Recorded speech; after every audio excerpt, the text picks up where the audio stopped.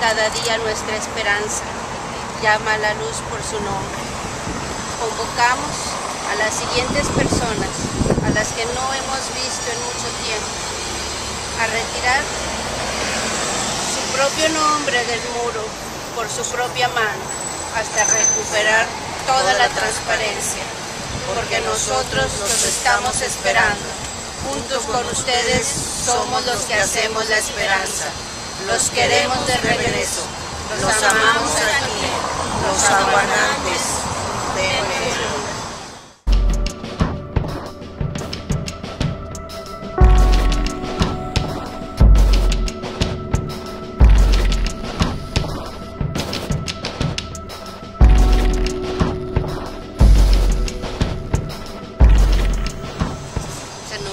nosotros esta plaza la cuidamos, aquí hacemos los eventos públicos.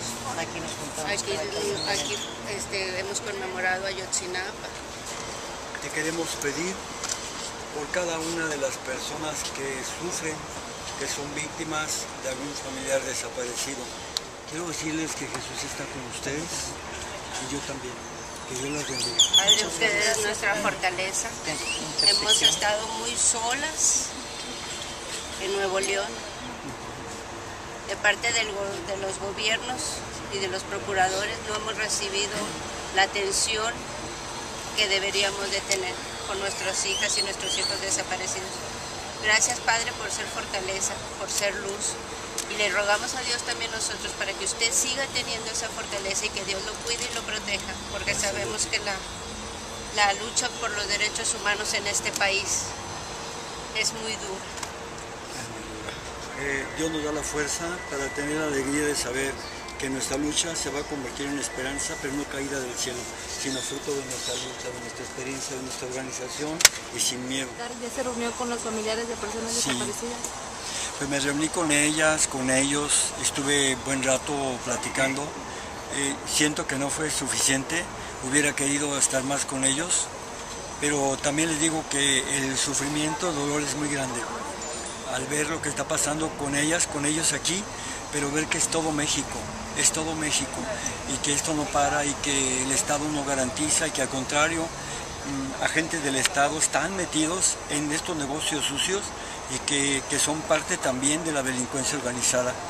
Y hago votos porque, porque en Nuevo León eh, Jaime, Bronco, Jaime Rodríguez, haga la diferencia.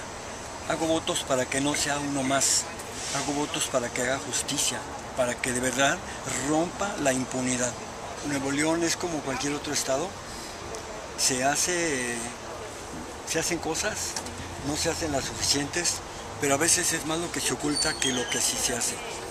Se, tiende a ocultar la realidad y la verdad es que no hay, no hay recursos este, humanos, no hay recursos eh, económicos para llevar a cabo una verdadera investigación. Por ejemplo, con las personas desaparecidas, eh, no hay profesionalismo para eso, pero ni siquiera hay tacto o sensibilidad para tratar estos asuntos, porque hemos visto que las, las- las familias que son víctimas acaban siendo culpadas, criminalizadas de, de hechos que, que ellos son ajenos y que el, gobierno no tiene por qué hacer juicios temerarios acerca de las hipótesis de la desaparición de los, de los familiares en lugar de ponerse a investigar profesionalmente.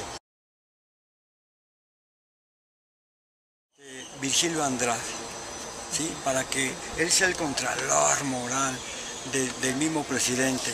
Es una persona incondicional, es servil.